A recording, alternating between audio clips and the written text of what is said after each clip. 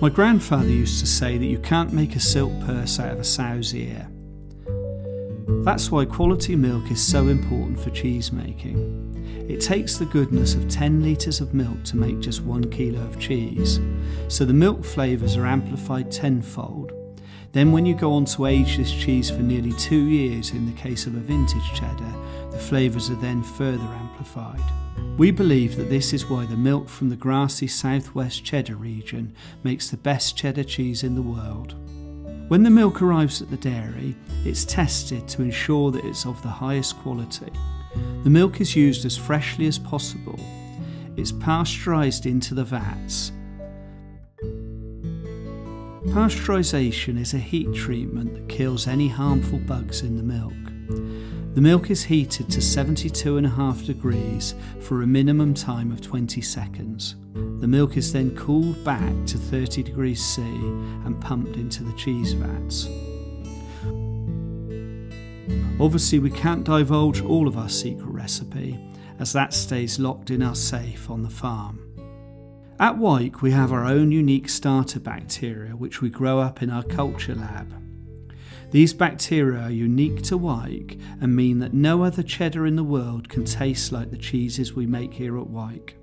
This bacteria is cultured up and then pumped into the vat, which develops the acidity and the flavours in the cheeses.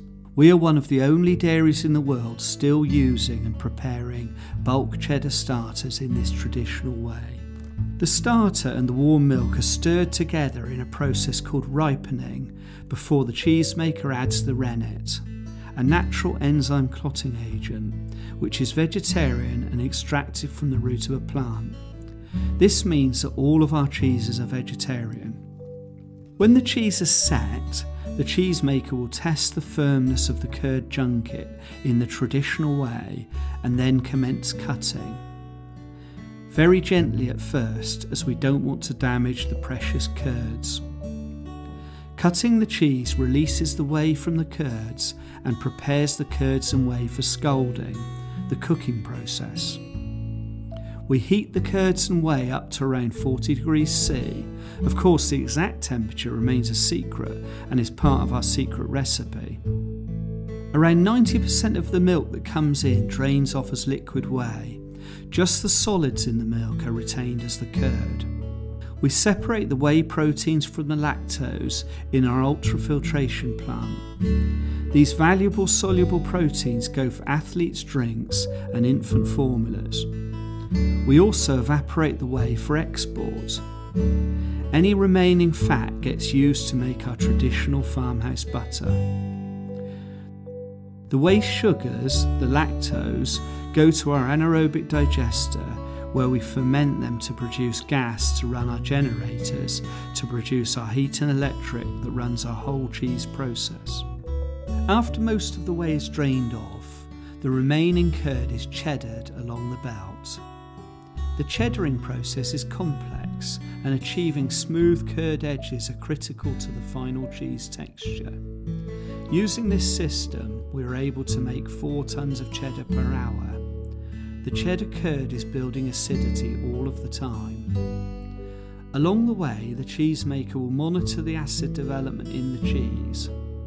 When the required acidity is reached, the curd can be chopped up in a process called milling. As part of our secret recipe, we have a target acidity at milling. The milling releases whey from the curd and increases the surface area ready for salting. We then add the salt to the curd at a rate of 2%.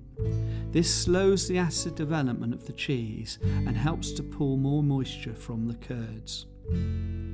The curd is compacted and pressed in the towers, and a vacuum draws the remaining whey from the cheese.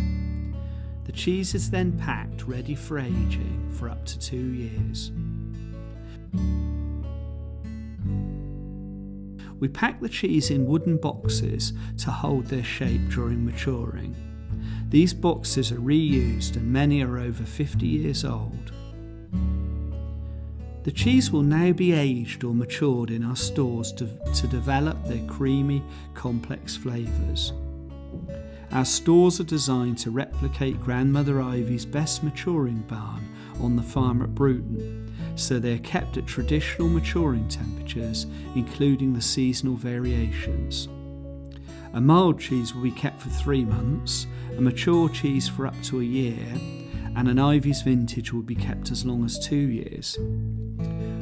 Our cheeses are graded one week old, then every month through their life until eaten. Only the very best cheese makes it to be a two year old Ivy's vintage cheddar. Grandmother Ivy would be proud to know that her Somerset cheddar is being enjoyed in over 165 countries around the world. Not bad for a lady who never left Somerset, let alone travelled on a plane.